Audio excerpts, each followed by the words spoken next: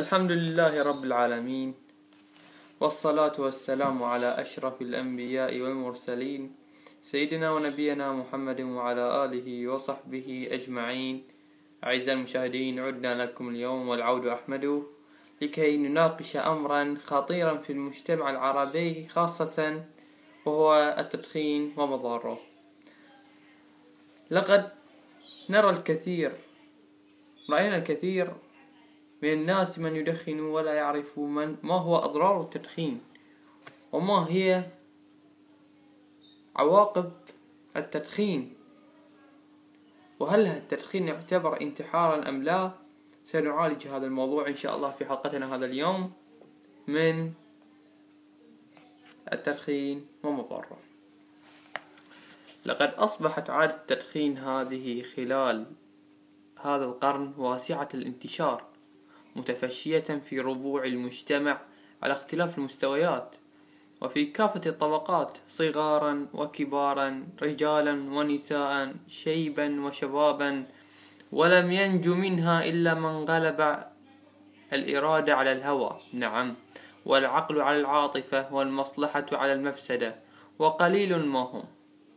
طبعا الآن كل الأشخاص تقريبا يدخنون ترى الجميع من أط... من أنواع من أنواع يدخنون. الصغير والكبير والنساء والرجال والشباب والشابات. وكلها وكل هذه الأنواع من المدخنين لا يعرفون ما هو أضرار التدخين. وسنأتي الآن إلى الضرر الصحي والنفسي. من أضرار التدخين ضررين. ضرر صحي ونفسي وضرر مالي. الضرر الصحي والنفسي أجمع الأطباء أن التدخين يورث السل وسرطان الرئة ويضعف الذاكرة ويقلل الشهية ويسبب اصفرار الوجه والأسنان ويعيق التنفس ويهيج الأعصاب ويحدث ويحدث انحطاما عاما في الجسم ويميع الخلق ويحلل الإرادة ويعود على الكسل والاسترخاء والعياذ بالله. هذا في الضرر الصحي والمالي أن التدخين قد يسبب لك باصفرار الوجه واصفرار الأسنان وفقدانك للشهية و يعيقك في التنفس ويهيج أعصابك يجعل أعصابك دائما مشدودة مما قد تكون عصبيا بعض الشيء. هذا من هي ما من أضرار التدخين الصحي والنفسي.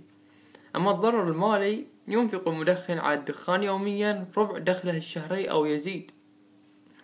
ولا يخفى ما في ذلك من إضاعة للمال وخراب للبيوت وشتات للأسر.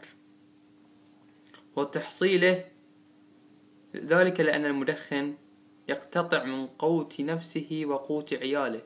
في سبيل شراء هذا السم وتحصيله وربما انحرف عن الطريق السوي فارتشى وسرق لجلب ثمنه وتأمين وجوده. نعم ترى الفقير عندما يتعود على التدخين قد يقول لأي شخص آخر أريدك أن تسلفني هكذا وهكذا لكي أشتري الدخان.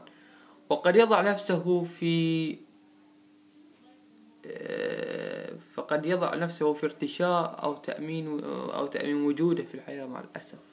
أصبح التدخين هذا السم القاتل يجعل الشخص يركض وراه. ومع الأسف. نأتي إلى موقف موقف الإسلام للتدخين. من المجمع عليه. عند أئمة الفقهاء والمجتهدين أن ما يؤدي إلى الضرر ويوقع في المهالك فاجتنابه واجب وفعله حرام لقوله صلى الله عليه وسلم لا ضرر ولا ضرار ولعموم قوله تعالى ولا تلقوا بأيديكم ولا تلقوا بأيديكم إلى التهلكة وقوله ولا تقتلوا أنفسكم إن الله كان بكم رحيما ومن المسلم به عند أص... ومن المسلم به عند أصحاب العقول الراجحة والأذواق السليمة أن الدخان يدخل في زمرة الخبائث لضرره على الجسم وتسبب وتسببه في الرائحة الكريهة للفم.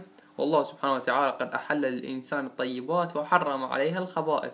يقول سبحانه وتعالى ويحل لهم الطيبات ويحرم عليهم الخبائث. ثم الدخان يخدر العقل ويفتر الجسم. وقد نهى رسول الله صلى الله عليه وسلم عن كل مسكر ومفتر. كما أن الدخان يسبب إضاعة المال في أضرار يعود أثرها على الفرد والأسرة والمجتمع. وقال صلى الله عليه وسلم إن الله كره, كره لكم قيل وقال وكثرة السؤال وإضاعة المال. نعم.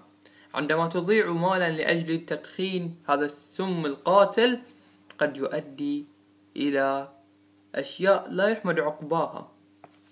فهذه النصوص جميعا تؤكد أن تناول الدخان حرام واجتنابه واجب لضرره البالغ وخبثه الظاهر فعلى الدولة أن تشن حملة إعلامية واسعة النطاق في الصحف والمجلات والإذاعة والتلفاز تحذر فيها من الدخان. وتكشف لأبناء هذه الأمة وشبابها بشكل مستمر عن ضرره البالغ وخطره الكبير مستعينة بأهل الخبرة والاختصاص. إلى هنا أعزائي المشاهدين انتهينا من هذه الحلقة. فيها العبر فيها المواعظ فيها الأحاديث والآيات التي تدل على أن التدخين حرام وأن اجتنابه واجب وفعله حرام.